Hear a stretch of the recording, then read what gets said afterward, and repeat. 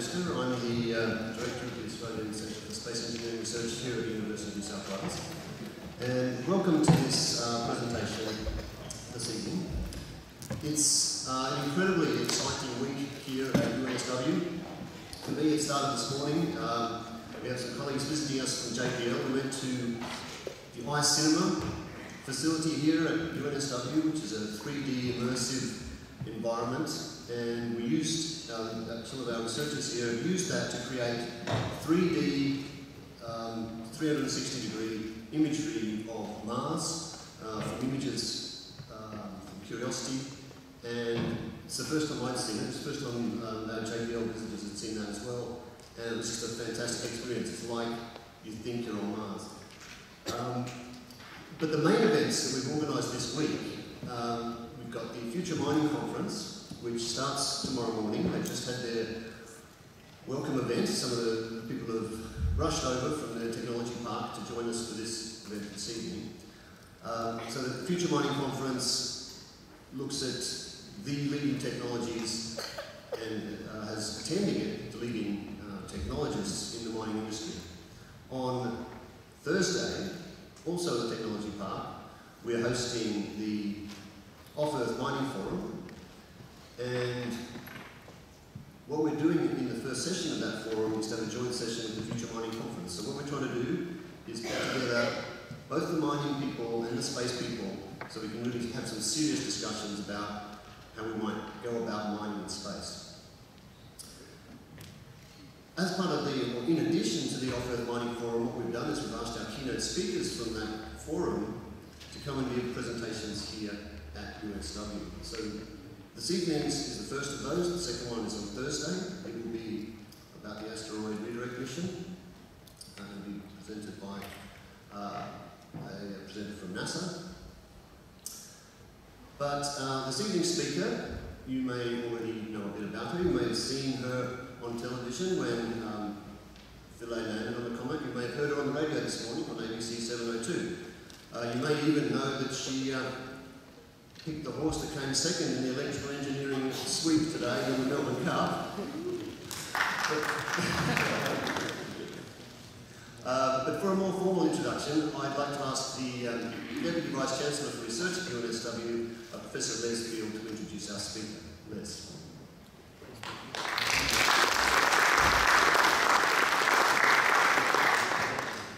thanks very much, Andrew ladies and gentlemen, colleagues, uh, let me first welcome you here to the University of New South Wales. Um, and, and in welcoming you here to UNSW, let me uh, also acknowledge the Bedegal people and, uh, and their elders, past and present, who are the, the traditional custodians of the land on which the university sits.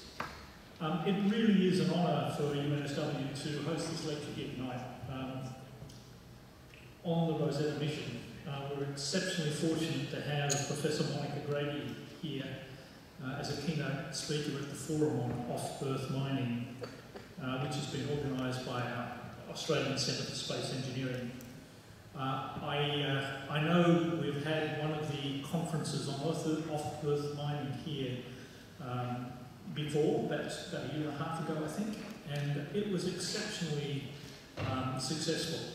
Uh, brought together people from many different parts of our university and from all across the all across the uh, across the globe to talk about something which is just a fascinating area. Um, I think over the recent weeks, I would say we've had a renewed focus on things interstellar around uh, around the media, um, heightened excitement all about. Um, apart from the, I think, the scary, all too realistic uh, movies which have been released recently or are about to be released. Um, I was uh, I was at a symposium about two weeks ago, uh, celebrating um, Back to the Future Day, uh, which is um, about the 21st of October, I think. Uh, there's no prize for figuring out which character I got to represent. but, uh, but, as part of that uh, Back to the Future uh, symposium, uh, we did a question and answer session with the audience, and it was, uh, it was a large audience. And uh, we got the audience talking about what might the future look like in 30 years' time. The sort of time frame in which Back to the Future came to 2015. And we asked the audience to explore possibilities. And there, the, the, the conversation went on for about uh, 45 minutes. It could have gone on for two hours and 45 minutes once the audience got warmed up. Amongst all of the, the various bits and pieces that got discussed, there really was an interest in, uh, in colonising the moon, uh, colonising Mars, um, exploring, understanding, um, exploiting, I think, uh, those various areas. Um, the technical issues, the social issues, the, the environmental issues, all got discussed in, in great detail. It was just one of those things that really takes the public's attention. I heard on the radio this morning that we're celebrating 15 years now of, of living in space aboard the International Space Station. And, uh, and I heard last week, I think, that we had the spacecraft that's just done a close flyby of one of the moons of Saturn, I think, looking for ice, ice plumes. We are really living in an age of just extraordinary engineering and scientific achievements. Look, without further ado, I should introduce today's speaker. Our speaker tonight is Professor Monica Grady. Uh, Monica is a, a leading British space scientist. She's known primarily for her work on meteorites. Since 2005, Monica has been Professor of Planetary and Space Science at the Open University in the UK, and she's currently head of the Department of Physical Sciences. Before 2005, Monica was based at the Natural History Museum in London, where she curated the UK's collection of meteorites. Um, she graduated from the University of Durham in 1979 and went to complete her PhD on carbon in stony meteorites at Darwin College in Cambridge. Since that time, she's really built up an international reputation in meteoritics, if I got that word right. Uh, not something that I say every second day. Uh, she's published very many papers on the um, um, on, on, carbon and nitrogen isotope geochemistry of primitive meteorites, on Martian meteorites, and on interstellar components of meteorites. She gave the Royal Institution Christmas lectures in 2003 on the subject A Voyage in Space and Time. Um, asteroid 4731 was named Monica Grady in her honour. Monica was appointed Commander of the Order of the British Empire in 2012 for her services to space science. She is the first UK scientist to be President of the International Meteoritical Society. Ladies and gentlemen, uh, let me invite to the podium Monica Grady to deliver her talk this evening on the Rosetta mission, landing on a comet.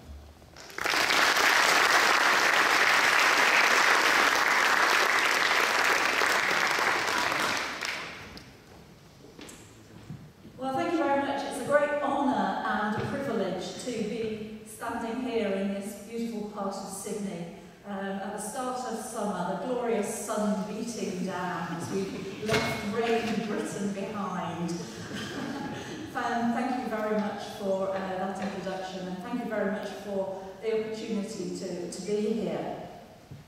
I'm going to talk, uh, this is very much a personal journey, uh, landing on a comet. It's not so personal that I actually landed there myself, uh, it would take quite a large rocket to get me off the ground and a huge one to get me as far away as a comet. But I'm going to talk about things, I'm going to say, we did this, we did that, and we did the other. And I better come clean right at the start and say, I didn't do any of it. It was done by a vast team of scientists and engineers and, and technologists and information technologists who put this whole mission together, who designed it, who built the, built the instruments. I'm a scientific advisor to one of the instrument teams, uh, the team which built Ptolemy, and I'll talk a bit about Ptolemy as well. So, you know, please forgive me for saying we when, you know, at least I'm not saying I, you know, I'm just saying we who did this. I'm going to move that away so that we don't echo. Right, so landing on a comet. Where shall we start? Well, first of all, let's start by thinking, well, why actually would we want to land on a comet? And part of the reason, if you can see this, is because one of the real questions that we want to answer, that, you know, a real thing that is of great interest is, where did we come from? What, what made us? How did life get going on the earth? And from that springs a question, you know, what makes the earth habitable? Why did earth get going here? And we know that what is required actually to make a habitable world is water and also carbon. Now when the earth first got going, 4,567 million years ago, so this is the start of the solar system, the planet was incandescently hot. It was hot in the middle because it's got a molten core, and it was hot on the outside because comets kept crashing down, comets and asteroids. So this is a depiction of what the surface of the Earth looked like four, five, six, seven million years ago. So it was molten. Gradually, as the solar system got to be a much, much quieter place, the bombardment slowed down and the surface of the Earth cooled it's not completely cold. There's still volcanoes erupting, fresh magma, lavas being produced all over the world. But by and large, the surface of the Earth is solid. The bombardment, though, still goes on. I mean, you've got amazing records of it here in Australia, certainly places like Wolfe Creek, you know, huge numbers of uh, craters, Wolf Crater, uh, that you can see in, in the desert areas of Australia. Places, you know, this, this continent is, you know, a, a much better map of um, the cratering history of the Earth than almost anywhere else on the globe. When these craters form by asteroids and comets, instead of um, making the, uh, that, that part of the earth hot and boiling any volatiles away, volatile materials are now added to the earth. So we've gone from a really, really hot earth when all the water has boiled away as steam and lots of the carbon has gone away, to a, a much, much cooler earth where water and carbon is added by comets and asteroids. And so what we've got on the earth now is a mixture.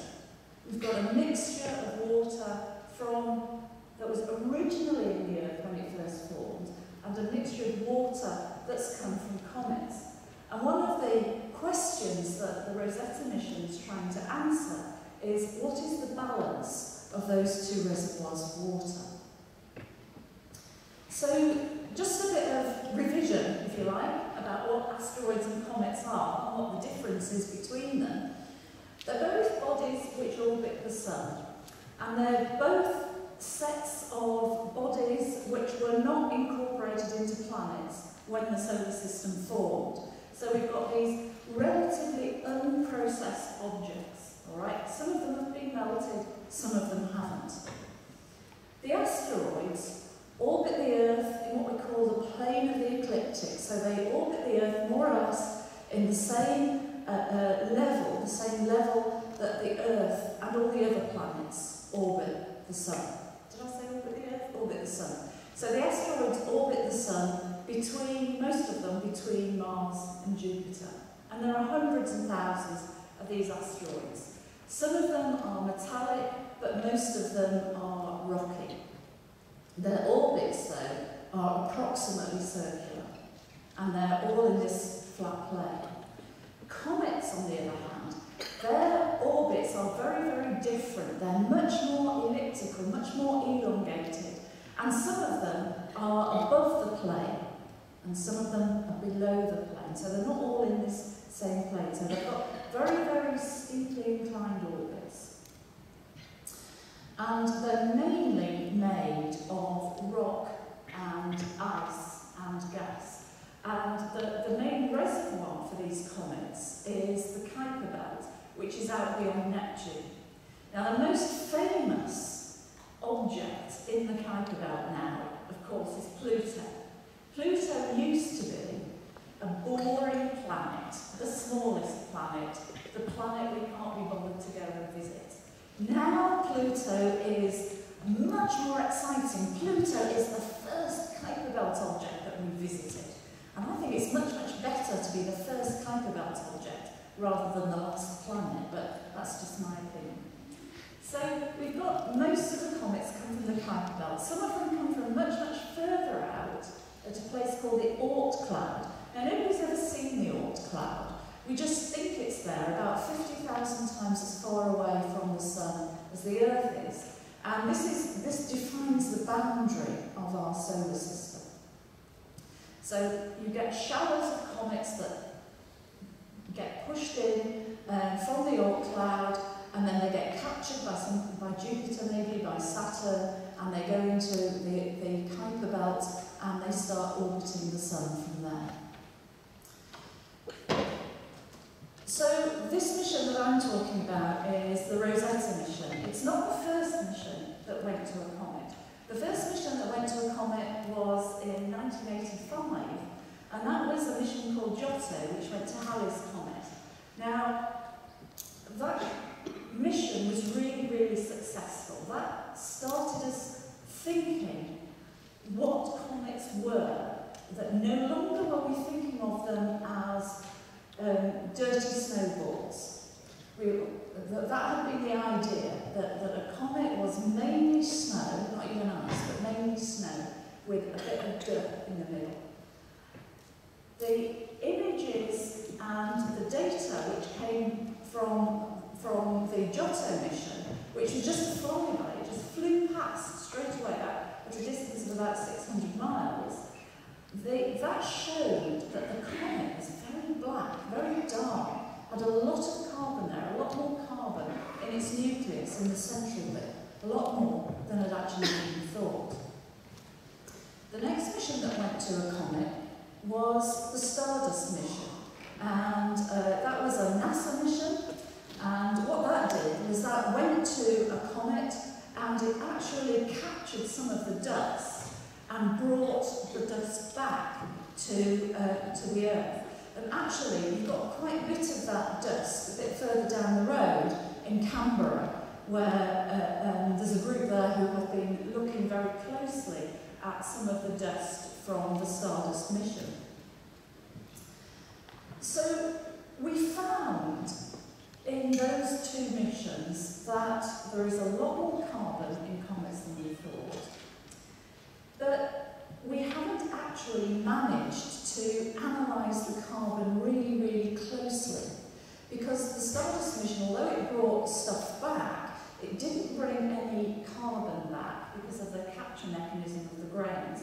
And it hasn't brought any of the ice back or any of the gases. So, because it's very difficult to bring those sort of things back from the space mission, we did the next best thing, which was to send our laboratory up to the uh, up to the comet, 67P Churyumov-Gerasimenko.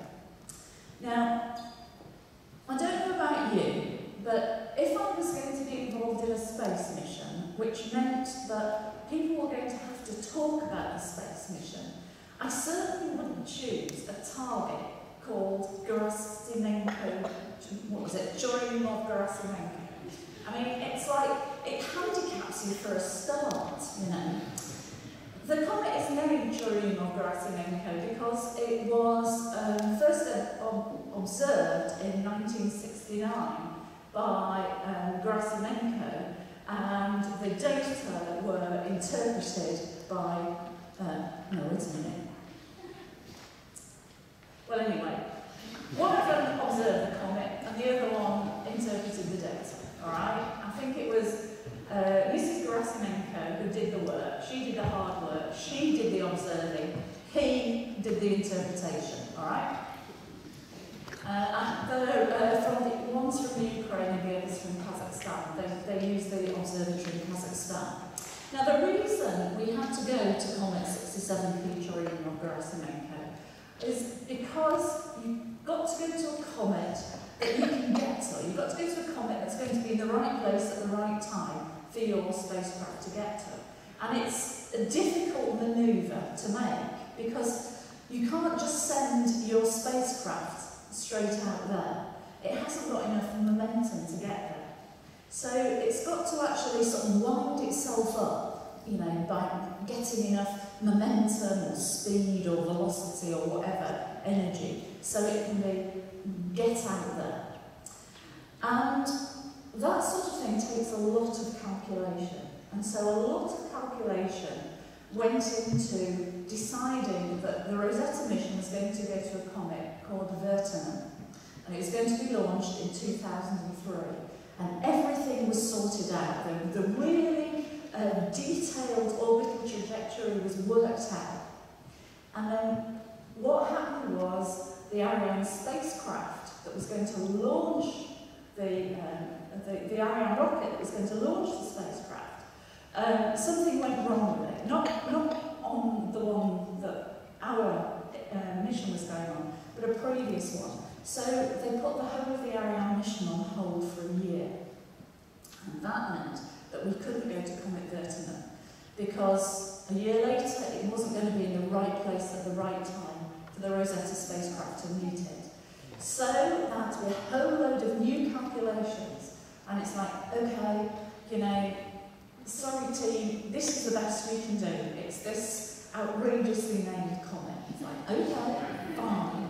And it's still not going to be easy to get to. So it was launched, and this is a t-shirt, and I thought, shall I wear a t-shirt? And then I thought, no, you know, this is Australia,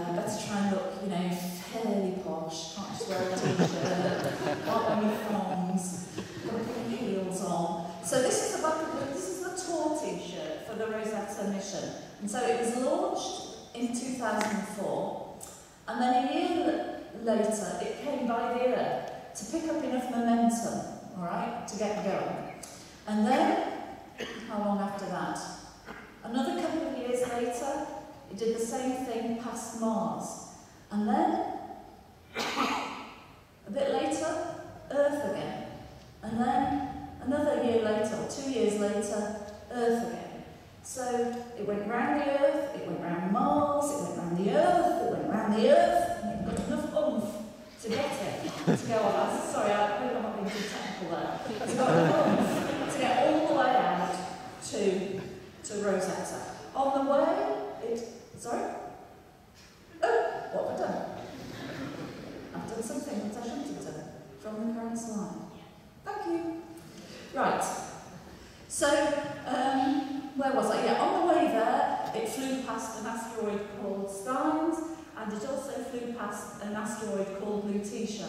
When it was, um, when it went past Steins, it, it you know, took a few pictures, did a little bit of um, observing. When it flew past Lutetia, it had all the instruments switched on just to make sure that they were still working. And after it had done Lutetia, it then entered deep space hibernation. So let's think of some of these timings It entered deep space hibernation in June 2011. And then it came out of deep space hibernation in January 2014. So it had been switched off for 18 months. So think about this. It's been switched off for 18 months. Something which was launched 10 years previously. Which means that actually, I mean, it should have been launched in 2003. So everything had been hanging around for a year. People had had to deliver their instruments in 2001 or 2002 so that it could all be integrated, so they would all fit together and, and, and be assembled into one whole spacecraft. So for something that was being switched off in 2011, it had actually been built, not just in the year 2000, but in the year you know, 1999, 1998. So this technology that you're switching off in 2011 and switching on again 18 months later, it's pretty ancient technology. So if you think of the iPad you were using in 1999. Maybe you didn't have iPads in 1999. What about your desktop computer? No, you only just about got a desktop computer or, or, or a laptop. Your mobile phone was some great big brick that you were dragging around with you if you, if you even had one. So using this really ancient technology,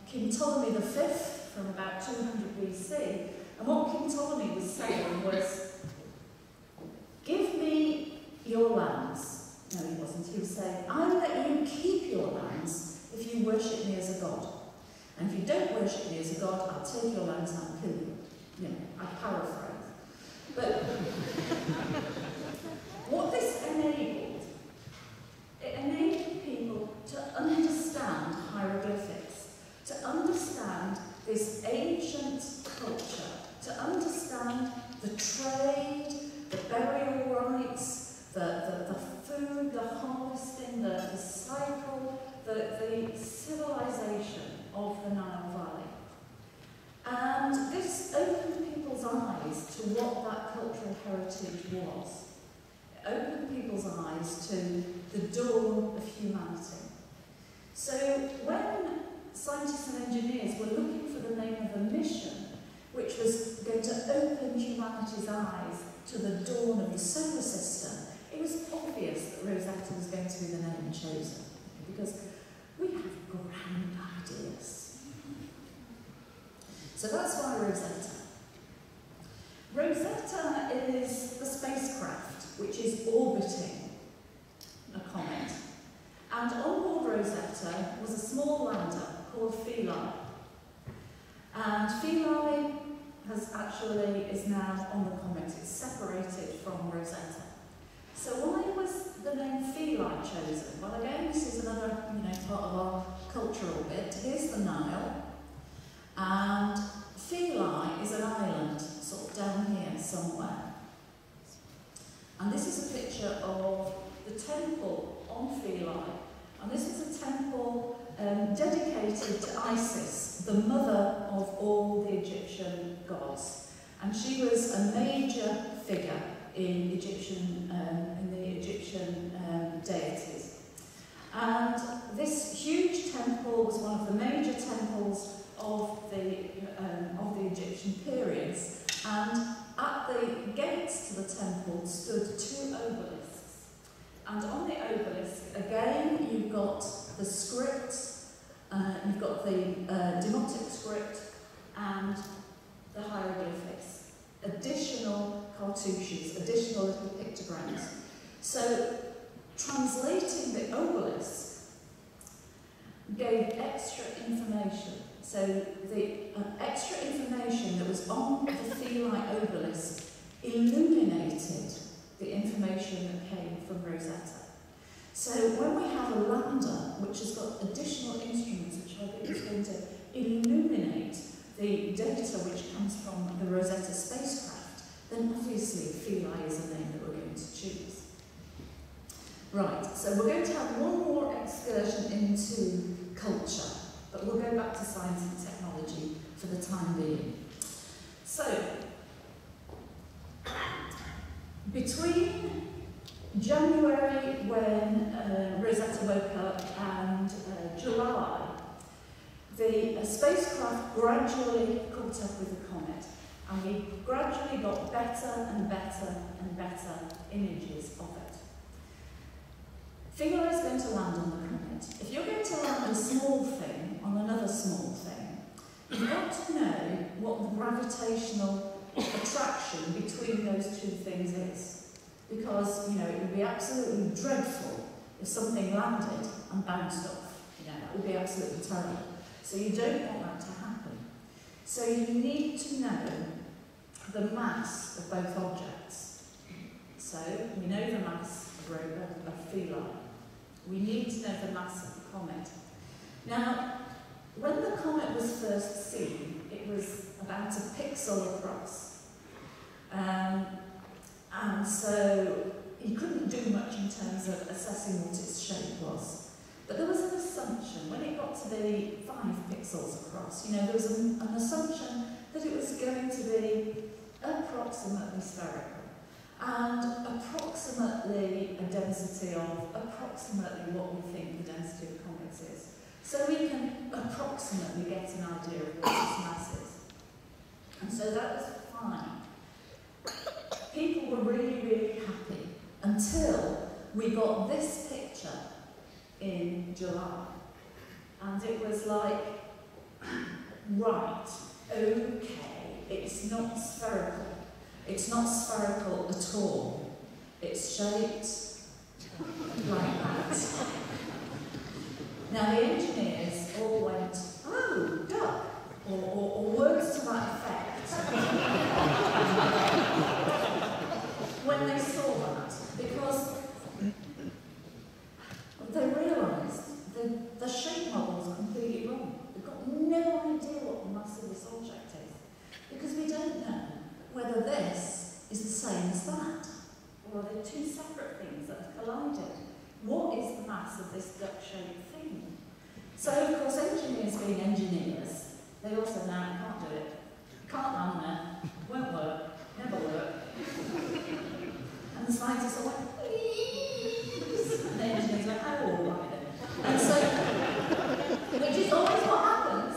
You know, it's always what happens. Engineers, and I don't know, I don't know whether there's any engineers in the audience here or not, tend to be a bit uh, more risk averse than, um, uh, than, than other, other um, disciplines, let's say.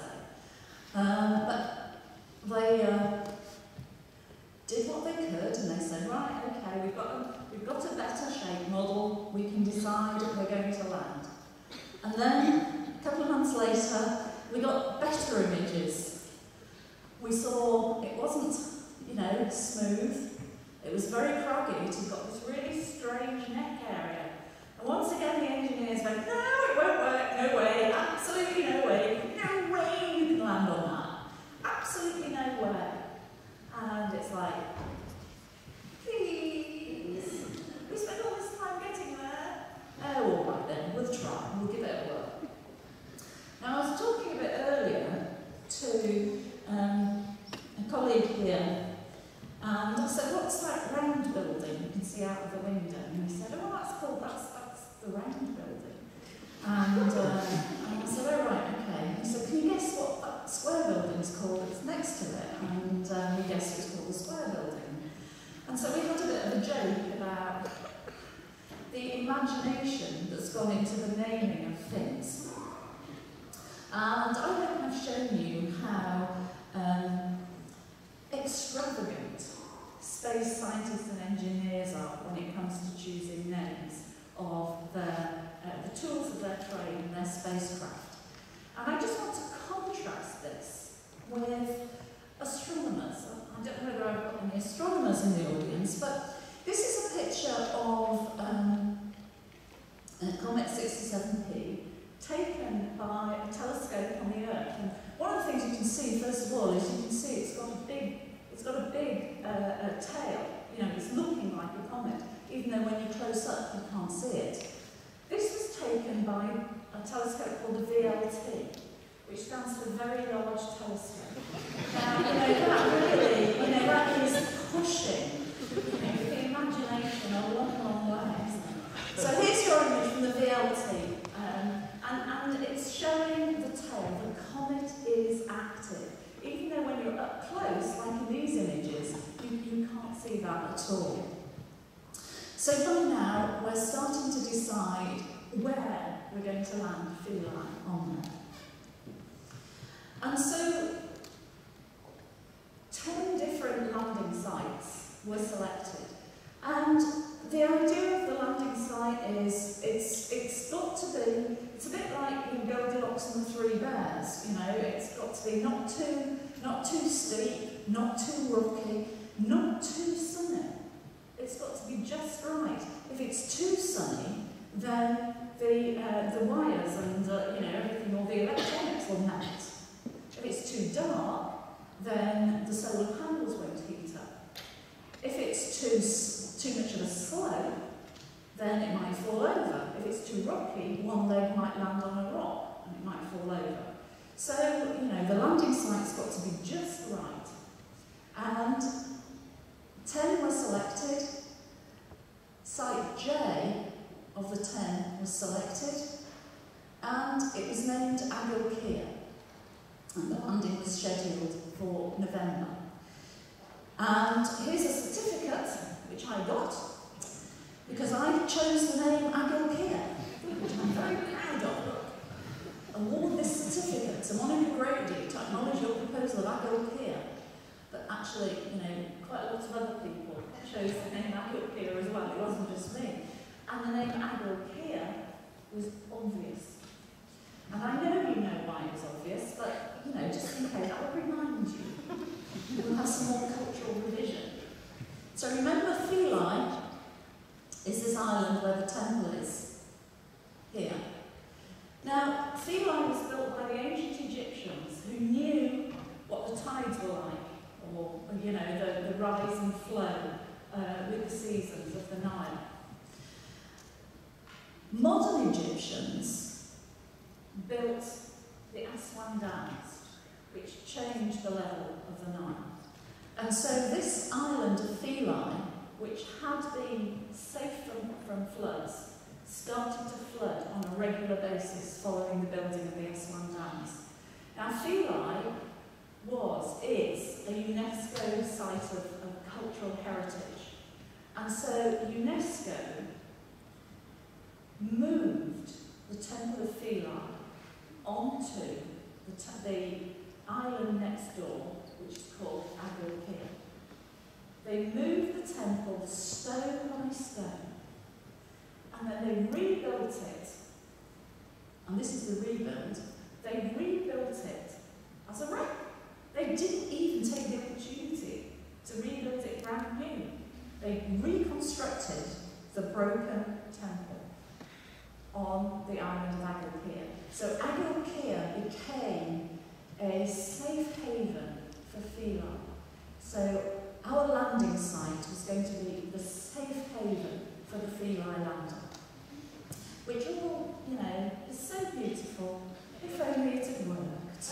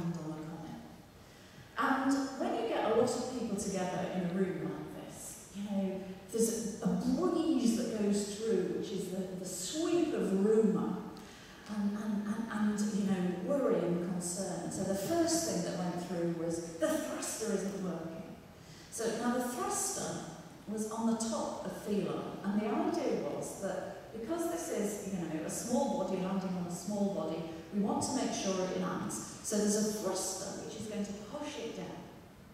And we heard that it wasn't working. But oh, that doesn't matter. There's two other fail-safe mechanisms. You know, can't possibly go wrong. Don't worry about the thruster. That was just the backup of the backup. Don't worry about that. Okay, fine, fine, fine. So we go into this room and we say goodbye to Philae. So this was the last picture that we saw of Philae, and that was at 10 o'clock in the morning. Now, I don't want to be too rude about NASA. Okay. NASA do like to make a song and dance about things. a few years ago, they landed Curiosity on Mars, and they had this big thing. It was seven seconds of terror. Was it seven seconds or seven minutes? Seven minutes of terror. And this seven minutes of terror was as the, uh, the spacecraft came through Mars's atmosphere and um, the, the control on, on Earth didn't have contact because it was coming through the atmosphere. So you know, they don't know, now it's up there, Is it going to do? Seven minutes of terror. And there was this amazing, amazing film, Seven Minutes of Terror, and all this sort of thing. ESA just thinks so much better. We had seven hours of boredom. seven hours of tedium. Because this was let go at 10 o'clock in the morning. It wasn't going to land until three minutes past five. And there was nothing we could do. There was nothing we could see. There was, you know, you couldn't even have a drink.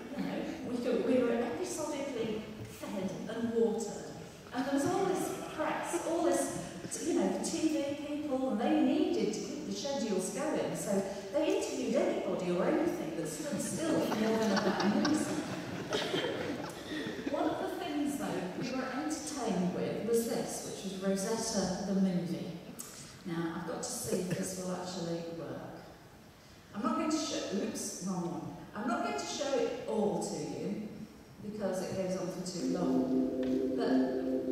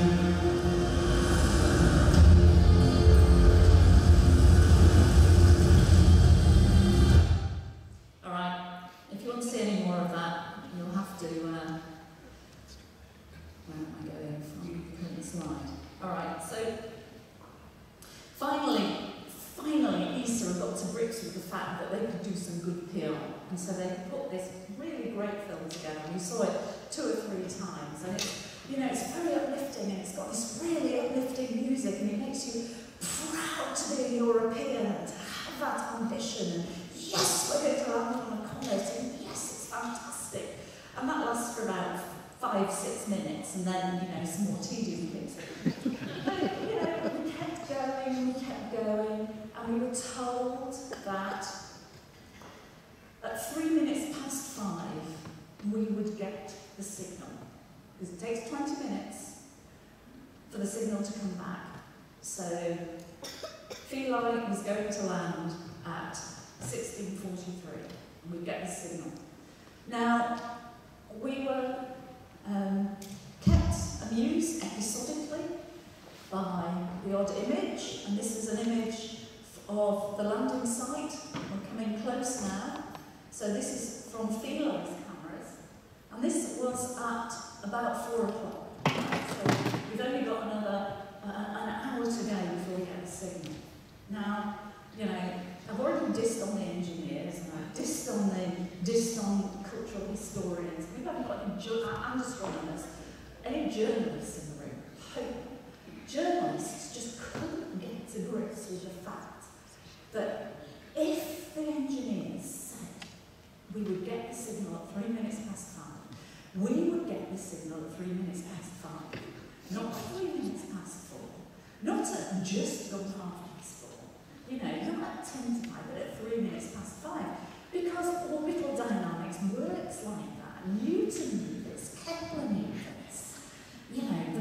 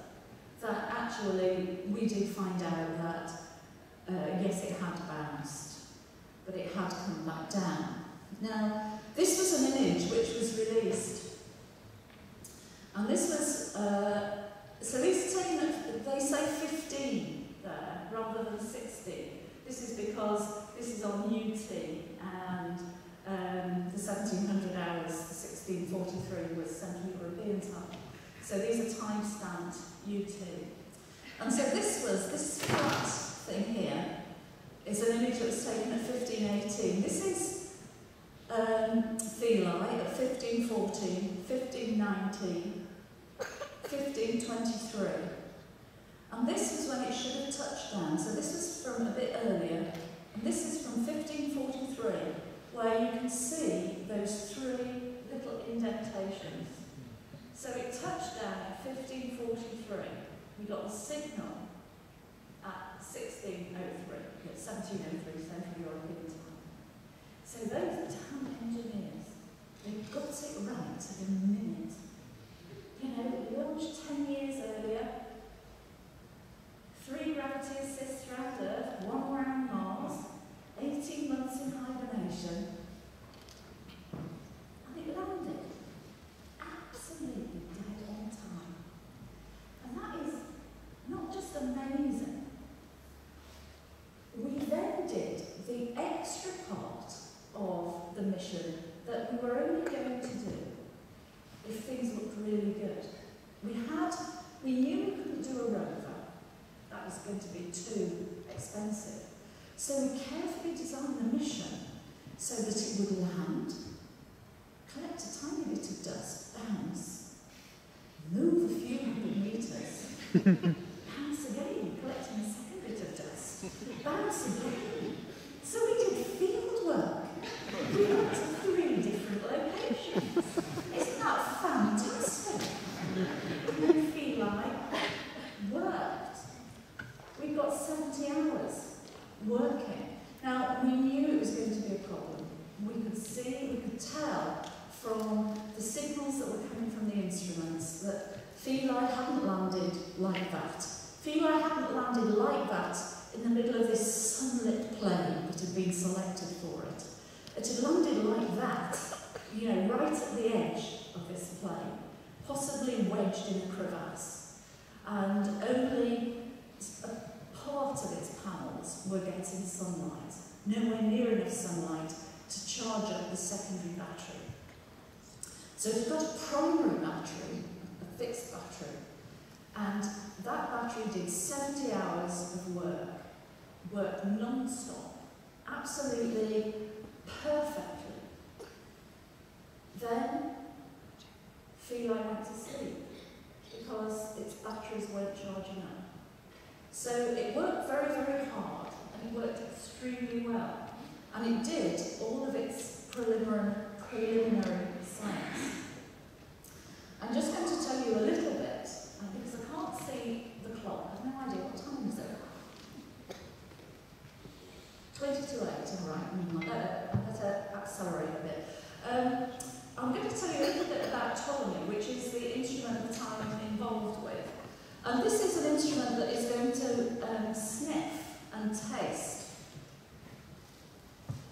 Just coincidence, I'm tasting water at the moment. Mm. The sniff mode was when, when gas and any dust in it goes straight into the detector. Ah, I can smell lilacs. Mm, I can smell, uh, you know, a vindaloo. I can smell dirty nappies, whatever.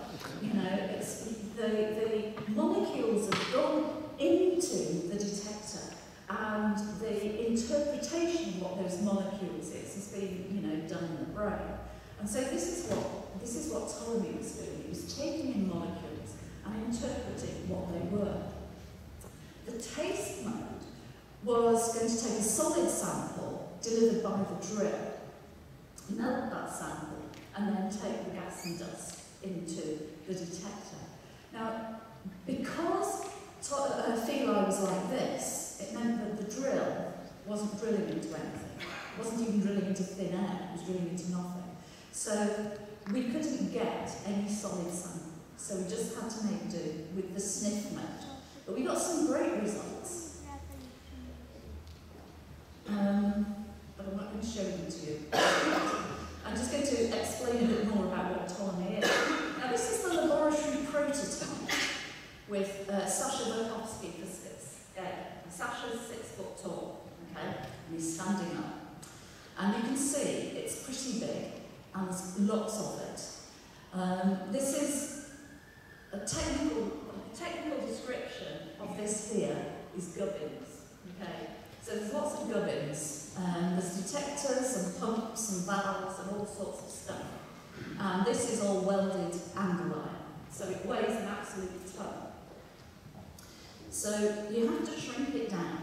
And so here it is, shrunk down with Andy Morse for scale. These two tanks have got helium in, and the helium sweeps the molecules into the detector. So all that gubbins is shrunk down to this. Alright? So it's, it's, it's been miniaturized, and it only weighs a few kilograms. So we've taken something that weighs tons and brought it down to kilograms. Now at this stage, I ought to introduce you to the international scale for describing spacecraft and instruments. Okay, so Rosetta is the size. The Ro Rosetta spacecraft itself is the size of I don't know a, a, a large camper van. Philae is the size of a washing machine. Ptolemy is the size of a shoebox. And the actual detector inside Ptolemy is the size of a. So you've got a cotton reel in a shoebox, on a washing machine, in a camper van. Okay? Now this is international. It's used by NASA and ESA and JAXA. And so it, it travels very well. So that's what we built. And this is some of the results that we got. So these lines here are um, signals which shows a molecule of that particular mass is there. So water, which is H2O, is 16 for the oxygen two ones for the hydrogen. So um, that makes 18. So H2O is down here. Now what we've done is uh, they've taken away the peak for water and the peak for carbon dioxide at mass 44 because they just swamp everything. Because the biggest stuff that they found was water and carbon dioxide. Unfortunately, we didn't find much nitrogen, very, very little sulphur. But we found these things here which have been marked separately. And they come from this big molecule called polyoxymethylene, or POM for short. Ah, that's a good name, isn't it? so polyoxymethylene. Now, polyoxymethylene is a big molecule and uh, it, it is found uh, in space and it has been detected on comets before. And one of the really exciting things about polyoxymethylene is it, it, it can break down and be a component of sugars. Now, one of the things that we were looking for in Rosetta, uh, in, in um, the uh, Rosetta mission, was to see if any of the building blocks of life were there. So these are things like amines, nucleobases, glycine. And this is why it was a bit disappointing that we didn't find any nitrogen or any NH2, because that would have been a signal that there were these AUs there.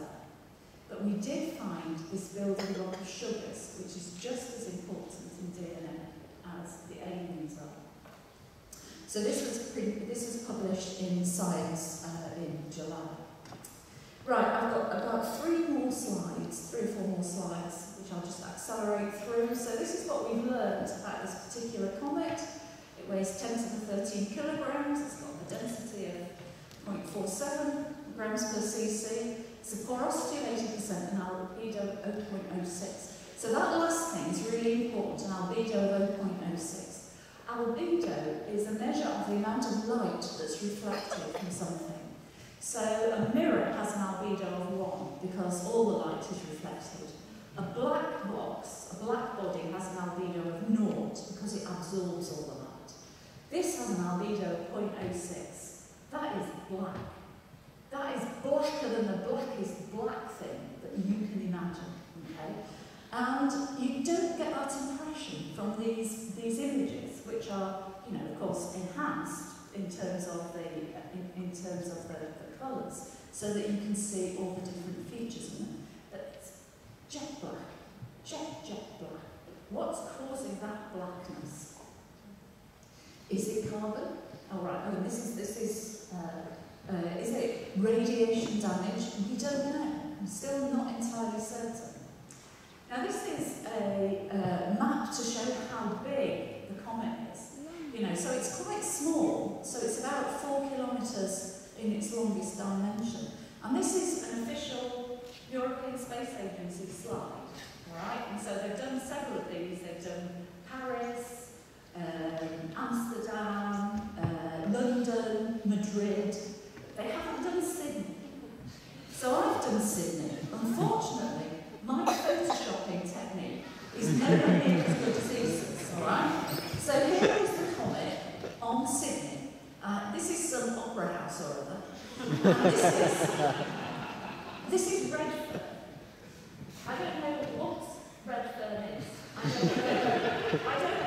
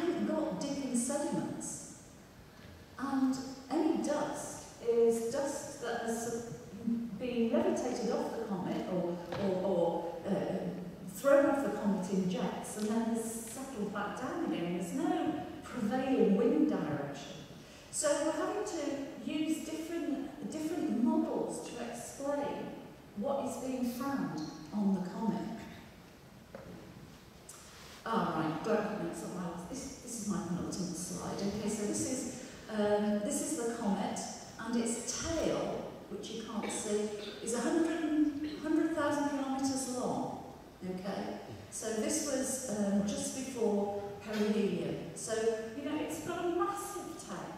You've got, you've got this body which is four kilometres across with a tail from all the dust and gas that's coming off it in plasma of 100,000 kilometres. Ah, forgotten. This is my penultimate.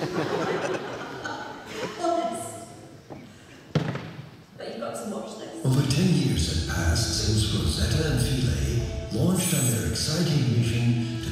67P Churyumov Gerasimenko.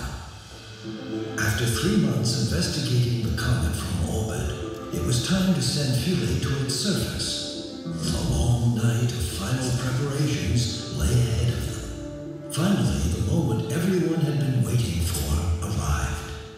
As the world held its breath, Rosetta moved into the exact position needed to make sure Philae would reach the landing site that scientists on Earth had picked earlier in the mission. Philae and Rosetta were sad to be going their separate ways, but excited at the same time because this is what they had been waiting to do. Philae was away. It would take seven hours to reach the surface, but Philae wanted to get started on his measurements right away. He could soon see the surface in incredible detail, the moment he had been dreaming of had finally arrived. He had reached the surface of the comet. But all was not right. His harpoons did not fire. Philae realized he couldn't relax yet. He was rising from the surface again. Philae was scared he might drift off the comet completely. This was not in the plan. But eventually, he came back down again. However, as he looked around, he realized he had landed in a completely unexpected location. Philae immediately set to work on studying his new home.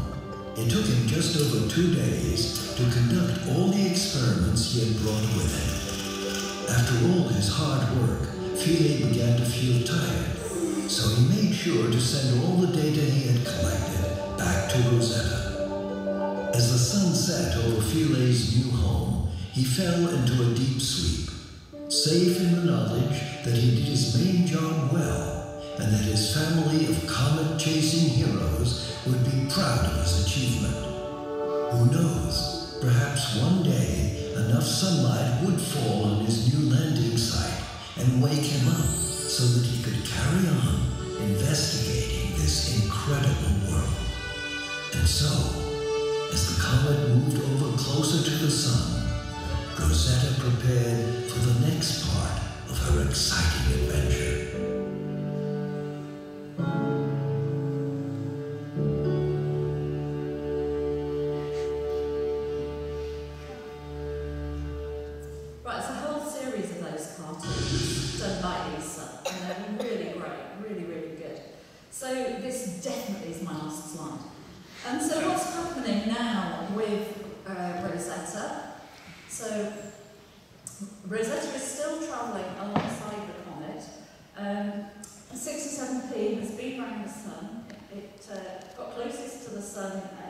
August, and uh, so perihelion, and now it's coming out and moving further and further away from the Sun. It's very, very active. Philae took a short break, but woke up on the 13th of June. So we got a signal back, which was fantastic, you know, really, really great. There is enough sunlight falling on Philae's panels to charge up the batteries. But there is a slight technical hitch with one of the communications antennae. And Rosetta has got to be relatively close to, uh, to the comet to actually talk and receive the, the signals from Philae. But the problem is that because the comet is now so active, so much gas and dust coming from it, that upsets Rosetta's star tracker system, which is how it navigates. And so it can't get close to the comet at the moment. Um, earlier, uh, last month, Rosetta moved to 1,500 kilometres away, so a long way away, to the front of the comet, to go to the bow shock region. This is where the comet is like ploughing through the wind that comes from the sun, so that you could get some measurements of the interaction of these two shock regions. But it's now come back towards the comet, and it's about 200 or so kilometres away from the comet. And the engineers are taking things really, really carefully They're stepping it down about 10, 20 kilometres a week closer to, uh, um, closer to uh, the, the nucleus because they just are, you know, really worried that the star trackers will go off again. Because if that happens, then Rosetta will, it'll either crash, it'll drift off into space, and we'll get nothing. So we are hoping that by the end of November, actually, Rosetta will be able to be close enough to be in contact. But this is all dependent on how active the comet is, and it is still very, very active. The mission will continue until September next year. It will possibly be extended even longer, just depending on how fuel and stuff like that lasts. But then when Rosetta's fuel has run out, and it uses small amounts of fuel to do uh, changes to its orbit around the comet. Um, when it's run out of fuel, there will be a controlled landing on the comet.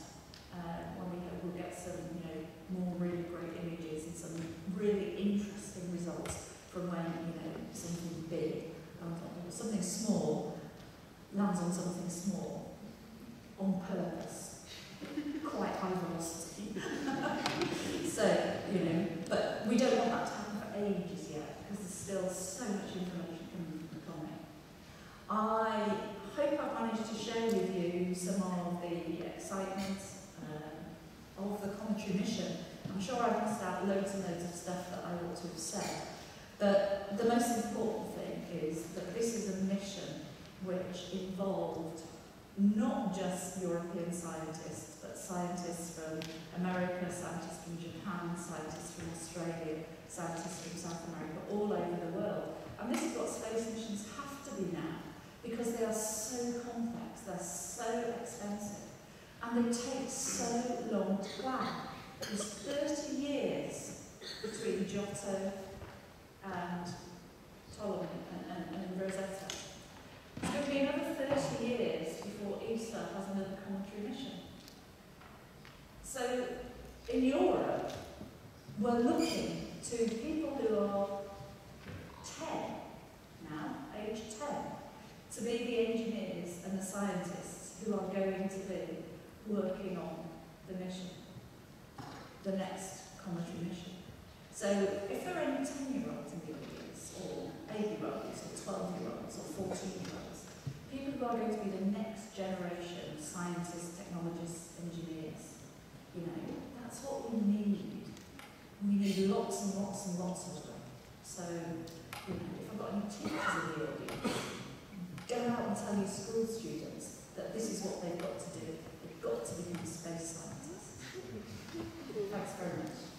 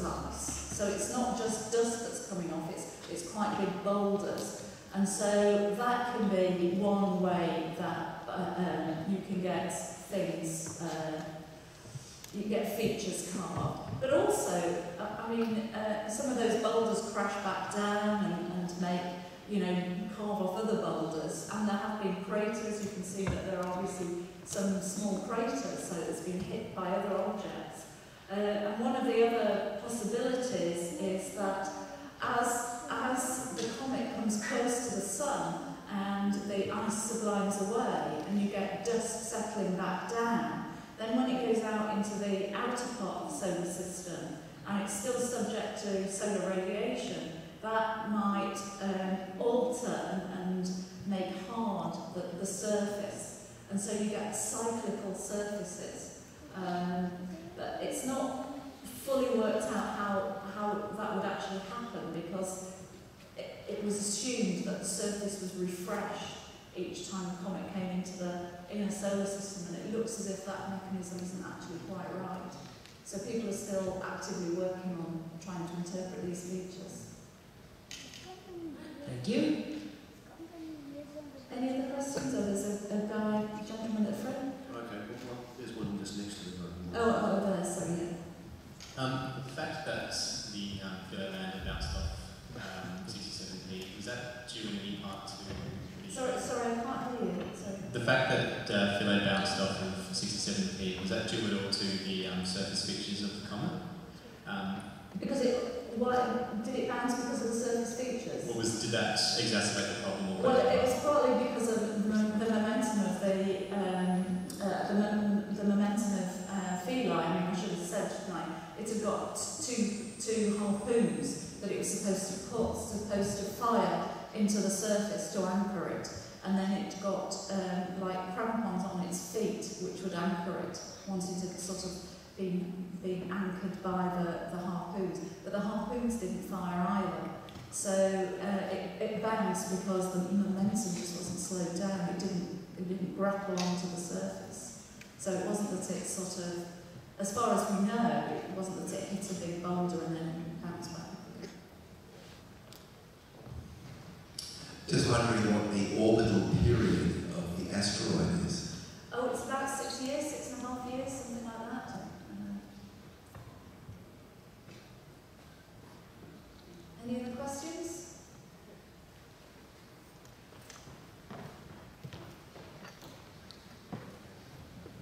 Thank you. This has been wonderful. Thank you. It's four kilometres big, and at present it's got a 100,000 kilometre tail. How big was it in the beginning to generate that length of tail? No idea. I, I mean, I've got haven't a clue because we don't know. Uh, well, what we what we know now is that those those two bits that make it were actually separate and have come together, right? Um, and so we don't know how big each one of those bits was before they came together. Um, we don't know when they came together. You know how many how many passes round the, the, the solar system it's it's done. So we've got no idea, no idea. But it's losing tons and tons of water and, and dust every hour.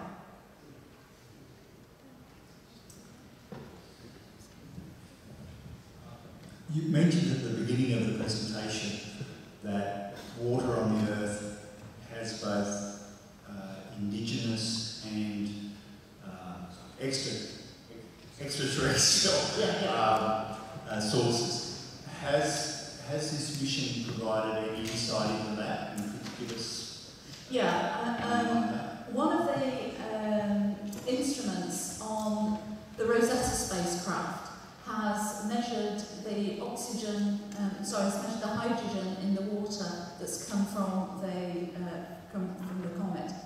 And it has found that you couldn't use cometary water to make water on the Earth. You couldn't just use cometary water. So it's got to be mixed with some primordial water. So the water that we have on the Earth has not all come from comets and asteroids. What we're still not certain about, though, is what the proportion is that's come from different comets. And of course, to assess that, we need to go to every single comet in the solar system to see if all the comets are the same. You know, because we're not certain all the comets have got the same signature of water in them. Uh, we're hoping that so, uh, um, if Philae comes alive and uh, we can do some more experiments, that we'll be able to get some more data showing that and, and finding out about the oxygen in the water, which will give us another sort of data point to, to find that. But at the moment, yeah, water can't on Earth can't just come from comets. Maybe two more questions. There's one up there. Right, thank you very much for coming tonight. Last week in the news, oxygen um, was mentioned from the Rosetta mission being quite abundant in the gases coming off. What is the situation there and why is that surprising? Well, it's quite surprising.